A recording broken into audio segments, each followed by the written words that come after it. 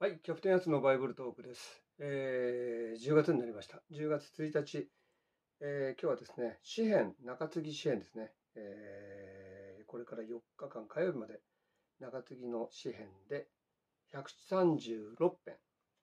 136編。えーと、これはあれですね。読みます。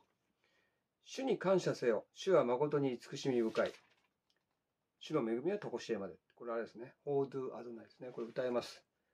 えー、הודו לאדוני כי טוב כי לעולם חסדו הודו לאדוני כי טוב כי לעולם חסדו הודו הודו הודו הודו הודו לאדוני כי טובホードゥホードホドゥホードゥホードゥアドナイキトという歌があるんですけども、えー、ホードゥ、ね、えー、アドナイキト主に感謝せよ。主は誠に慈しみ深く、主の恵みは常しえまでっていうことで、えー、これね、コールレスポンスだそうです。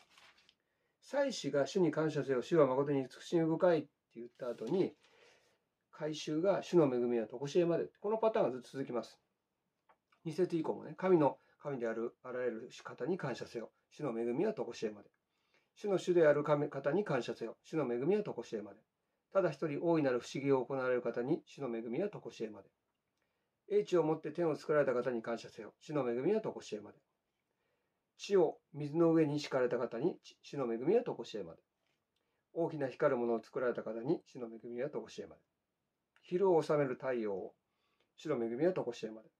夜を治める月と星を主の恵みは常しえまでっていう感じでずっと続くんですけど、その後、ストーリーが入ってるね。エジプトの長子を打たれた方に感謝せよ。主の恵みは常しえまで。主はイスラエルをその地から導き出された。主の恵みは常しえまで。力強い御手と伸ばされた身腕を持って、主の恵みは常しえまで。足の海を二つに分けられた方に感謝せよ。主の恵みは常しえまで。こうして主はイスラエルにその中を通らせた。主の恵みは常しえまで。ファラオとその軍勢を足の海に投げ込まれた。主の恵みは常しえまで。えー、荒野で見た目を導かれた方に感謝せよ。主の恵みは常しえまで。大いなる王たちを撃たれた方に、主の恵みは常しえまで。主は力ある王たちを殺された。主の恵みは常しえまで。アモリ人の王シホンを、主の恵みは常しえまで。バシャンの王オグを、主の恵みは常しえまで。こうして彼らの地を譲りとして与えられた。主の恵みは常しえまで。主のしもべイスラエルのに譲りとして、主の恵みは常しえまで。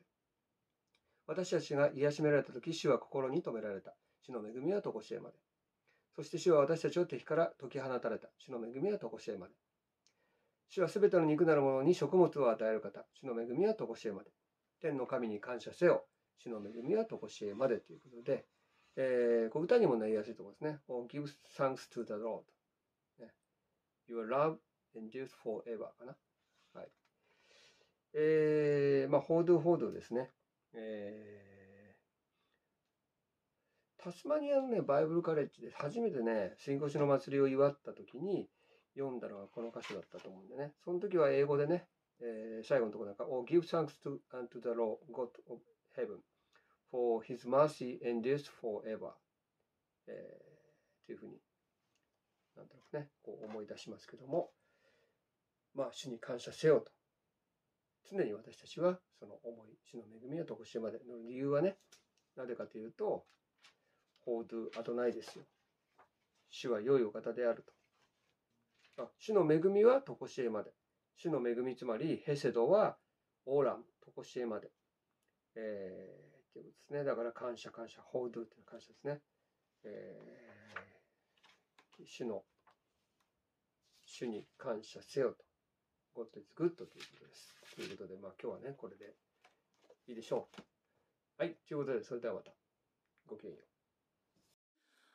う。